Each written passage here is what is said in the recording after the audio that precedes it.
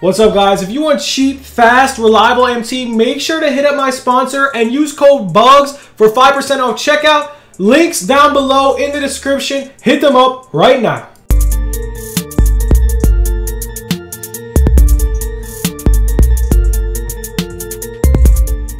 What's good YouTube? It's your boy Bugz back on another NBA 2K21 My Team video and guys today we are going over things that need to be fixed in NBA 2K21 My Team and honestly guys this might be a long video. It's a rant. I don't want to be negative but this is what needs to be fixed. We're going to go over every single aspect in this game right now okay so we're going to go over everything I hope you guys will enjoy this video because, man, this is straight facts, okay? We're going to go over a lot of things in this video. This is sort of a rant video, and honestly, we're just going to get right into it. So, let's start off with pack odds, okay? Because this is just terrible, okay? These pack odds, they need to be fixed, and I'm going to tell you why. So, if you think about it, man, they're, first off, they don't show pack odds. That's number one, okay? They do not show anywhere Nowhere. There is no pack odds. The only only place we've seen pack odds, they were on what's it called? The only place we saw pack odds we're on Twitter, okay? There is no picture proof of pack odds. Now, me, myself, and I, I used my MT, my hard-earned MT, flipping the auction on probably 400k worth of packs. No lie. I spent so much MT on packs, and I really didn't get anything. I'm talking about out of every 10 packs, I probably pulled an Amethyst or a Diamond. I did not get Manu. I probably spent 300k on Manu. The Manu packs, I did not get them. Here's my lineup. Okay, now we're going to go over things. We're going to go over a couple things, okay? Okay, so this is what I want to talk about. So, okay, pack odds, they're terrible. That's number one. Number one, these pack odds are not good. They are not fire whatsoever. Okay, so now let's get into more stuff. So, okay. Let's go into domination. Okay, these are the biggest waste of a grind ever. Okay, why do I say this? I did it. I finished all time. Yes, you give me credit. Big grind. These rewards are so trash. These rewards right here are outdated like that. Okay, that's number one. These rewards are outdated. For instance, man, Rolando Blackman is not even a good card. Nick Van Exel is not a good card. Not only that, not only that, man, the difficulty on these games. These games are too hard. The computer difficulty for people that are just starting to play my team, this is too hard. If you want new people to come to the game, you cannot make something as simple as grinding these hard, long domination games actually difficult. You have to lower these difficulties. Yes, they made it all-star. It's still tough. Some new players will lose these games. If you want new players to come to your game and grind, you got to do that, okay?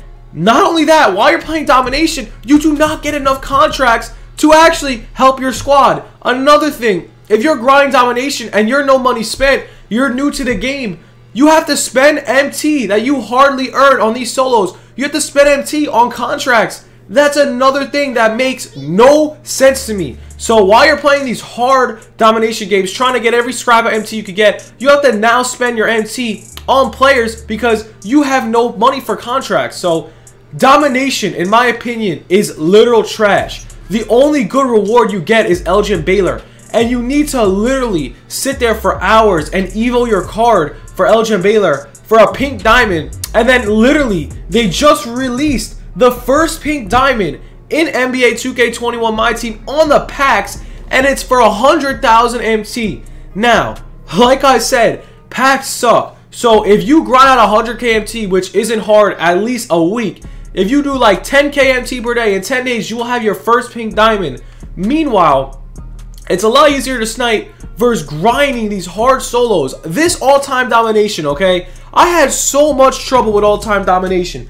This was no joke. This was some serious business right here. I lost a ton of games. I'm not the best at 2K, but I know for a fact I am really good against computers. These games, for new players, they're not going to beat it. Some people already stopped playing Domination. Why? George Mikan, man, he's slow as heck. He's not even that good, and he's gonna be he's already gonna be outdated, man. There's already better centers than him in the game. So grinding all this domination, then after you do every single one of these dominations, man, you, it, it's just, it's bad. Every single uh, once you do all the dominations, which is ridiculously amount, it's like hundred hours of grinding, maybe even more. You get a what's it called? After that, you end up getting Elgin Baylor a pink diamond after you evo every single card. That is so every single card needs to be evo, which is ridiculous. Then you get a pink dot Elgin Baylor. If you don't end up evoing him out within the next week or two or three, he's outdated. He's never going to be upgraded until later in the year, maybe. That's about it.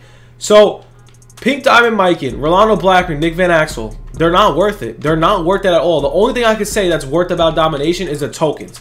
That is about it. Everything else, it's not worth your time. These historic Dom challenges to get Rolando Blackman, they just released Paul George. He's 10 times better. So, my opinion, man, domination's not worth it. TTO. TTO is somewhat worth it. You know why? Because there's not there's less contracts in it. You do get pretty good rewards. This is about the only game mode that I say is worth it. And not only that, once you get to 300 wins, yeah, these cards are outdated already. But after 300 wins, when the next season comes, they're going to release more players. So that's pretty good. I would say TTO is the only thing that's worth it. Unlimited. Okay, this is the worst game mode ever. Okay, as you can see, I'm 9 and 5. Last year, man, I went 12 and 0 multiple times. This year, not, I'm 9 and 5. My team's pretty good. But the unlimited gameplay is so trash, okay? I lost a couple games by one, two, and three. I haven't lost more. I haven't lost by more than three, okay? I'm not saying I'm the best player in the game. I'm saying I'm way better than what my record is, okay? Why did I lose, man? Eh, these kids, bro. They are making slightly early, like earlys, not even slightly. The shot meter online is delayed, okay? I'm missing open shots because it's delayed. But not only that, kids are hitting whites and they're going in like terrible shots, whites, trash shots. Not only that, man, online gameplay for some reason. No matter what you do, I don't know what it is, but the corners are always open. If you run a five out, you're gonna win. If you get Kristaps Porzingis and you run a five out, your corners are always gonna be wide open. It's my biggest pet peeve. It's so impossible to cover. They're always in the corner just sitting there, and no one's gonna cover it because defense is broken. If you hold X, you run into the crowd. There is literally minimal defense being played. Not only that, there's too many tip passes. If the ball's going right into your hands, why is that a tip pass? That should be a steal. That's number one. Unlimited gameplay is terrible. Not only that, the reward. You get Pink Diamond Paul Pierce. You got to get all the way to the Galaxy Opal tier. 70 games. 70 games to get a damn Pink Diamond that's about to be outdated. It's not worth the grind. You're playing 70 games of frustrating, unlimited rewards. This is just not it, 2K. It's not it, okay? That's number one. Okay, it's just not worth it. My team limited, man. Honestly, I find it fun. Not gonna say I don't. But realistically, man, if you're winning a bunch of unlimited games, I think you should get way better awards. You get packs. The pack odds suck. I missed week one. Week two and week three, I went undefeated, man. I'm good at the game. I went undefeated with my limited squad. And um, hopefully we get another chance at the end. But uh, right now, all I gotta say, man, pack odds are trash, okay? The new cards they released, Nate Archibald, man, Domination Grinder, outdated. Artis Gilmore, about to be outdated. These cards that I grinded hours for are outdated, and to me, it's really not fair. If you really think about it, it's not fair. Not only that, man. XP rewards, guys, they're so garbage, okay? You, first off, you gotta evo these cards out to actually make them really good. The evos are too long, man. They'll be outdated next week. Don't waste your time evoing these cards. Let's be real. Get it. Buy, if you want, man, buy MT, bro. It's a it's a better option. Not only that, man, you're grinding for Curry. Yeah, he's going to be a beast. Don't get me wrong. He's going to be an animal. Do you understand how many hours of grinding you need to do to get this Curry? I'm at 24, man. I need 133,000 XP. I didn't even get that much XP. I'm not even close.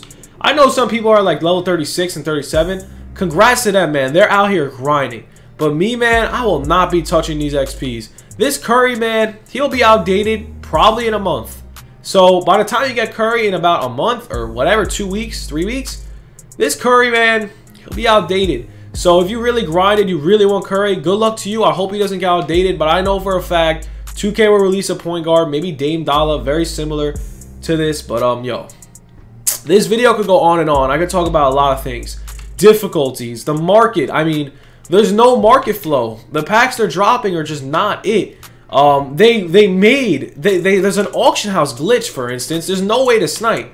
They ruined sniping. There's literally an auction house glitch where the players that got bought out are already bought out. Like this card. Oh, that one's actually not a buyout, surprisingly. But for instance, man, Ruby cards, okay? You're going to see a ton of Ruby cards that I cannot buy because these cards were already bought out hours ago, okay? The auction house glitch is ridiculous.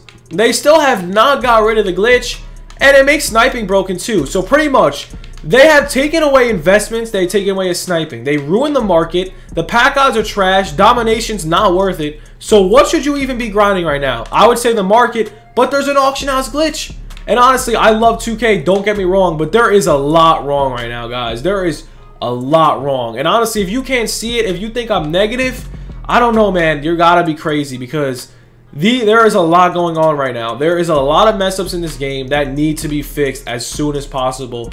But yo, other than that, man, I'm sorry for the huge rant. It, it's just had to be said. It's just every single aspect in this game mode right now is just not it. Everything's just super off. I just could go on and on. But other than that, man, hope you guys did enjoy the video. And one more thing. Collections, guys. Do not collect these.